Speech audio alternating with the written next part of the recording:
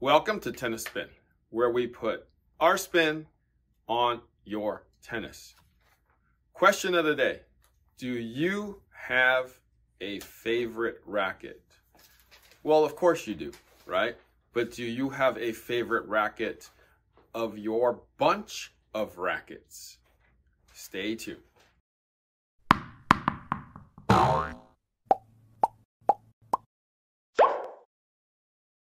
All right, guys. So uh, before I get started, um, got the 2.0 t-shirts in stock, tennisspinusa.com. Uh, Want to support my coffee habit? Buy me a coffee backslash tennis spin. So the site, a, a lot of you guys have said, hey, how do I buy you a coffee? So you go to a website called buymeacoffee.com and then you type in tennis spin and then you can just uh, kind of PayPal it to me through that uh, network or site. Okay, buymeacoffee.com. Thank you in advance. Okay, so what am I talking about today? Well, person by the name of Anthony Bautista. Uh, his subject line said, Racket Specs on a Radical Pro 2020. I'm reaching out to ask about a problem I have discovered regarding my rackets. I bought a couple head Radical Pros last year from Tennis Express in a 4 and 3 8 I'm a former Open junior player and high school singles number one in LA. I played off and on throughout college and grad school. I am now getting serious about it again. I realize that in the past year, I've gravitated towards one of my rackets more than the other, like most people do. But I've realized that I could significantly feel a difference in just the general weight of one. I did not like even having to swing it. I recently bought a food scale to determine the weight and the one I liked was 11.5 ounces strung, while the other was 11.8 ounces strung. How do I go about avoiding these problems in the future, especially if I ever buy online? With regards to my current situation, who can I even contact? The other racket is so different that I almost don't even want to use it. Um, I should add that I'm a big fan. Uh, I am not a big fan of the new Radical 2021. Uh, its weight specs actually feel a bit like the racket I don't like. Thanks for any help and guidance. Okay, Anthony. So, Anthony's problem is actually a very common problem. I've had the same problem in many instances in my tennis career too.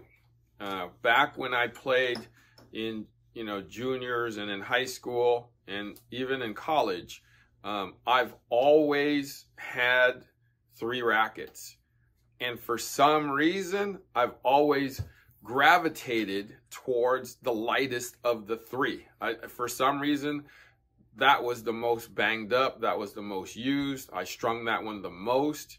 Um, it's just the one that felt the best to me.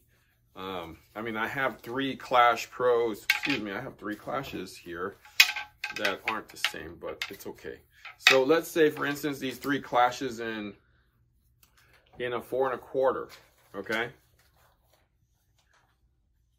I can pretty much tell you that they won't feel identically the same just because I randomly pulled them off um, the hook. Uh, what, you know, unfortunately, you know, that's kind of why I started customizing my racket just to kind of make sure that the weight and balance, um, swing weight, is as close as they can be. But but then again, I'm not playing it off of the stock versions. I'm adding weight. I'm changing balance, right? I'm altering swing weight. Um, so Anthony's problem is very common. If you want, if you want identical rackets though, uh, you will have to call and request that from the online guys. And from what I understand, they will do that for you. They will actually weight, balance, and swing weight them for you to get you the specs or to get two matching ones uh, or even three matching ones uh, in your hands. But here's the caveat to that though. Although the numbers are identical, they may not feel identical because I've seen that happen in many instances too. So unless you have the rackets in your hand that you can kind of feel and swing and do kind of a this kind of a test, right? They the weights can be altered too, even though specs are the same, because um, the manufacturers can't control where the weights kind of lie in the racket. So you can request them. I mean, what I would suggest is maybe request three or four, and then do the the the, the test that you do here you know, which is kind of, you feel the balance in your hand, you do a little bit of swing weighting yourself, um, and then you go to the next one. It's going to be here. These are pros, but I'm just showing you as an example that, you know, is it there? Does it feel the same? Right? See, the, the thing that we're trying to avoid is like I use the word clubby, you know, because it feels like a club. Um, I know that a lot of the rackets feel clubby and then some just kind of feel too light in your hand. But people seem to gravitate more towards the light ones versus the clubby ones. So it sounds like um, Anthony has a light one or one that's on spec and then a clubby one. And then the clubby one seems to have too much weight kind of here and out. And that's why it feels kind of like a baseball bat. Uh, that's what we mean by clubby. And it can be just a slightest weight, but it kind of throws it off that way.